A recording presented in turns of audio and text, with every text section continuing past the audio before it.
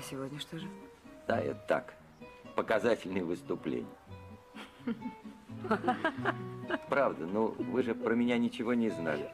А теперь вам так квалифицированно, красиво все объяснили. Гоша, вы мне нравитесь. А как же все эти академики, доктора? Спокойно, спокойно. Доктора наук, кандидаты, шашлык, все настоящее. И говорили они чистую правду. Но правда как так... Уж очень я какой-то идеальный получился. Даже странно. Ничего, жизнь это поправит. Ты думаешь? Ага. Хорошо.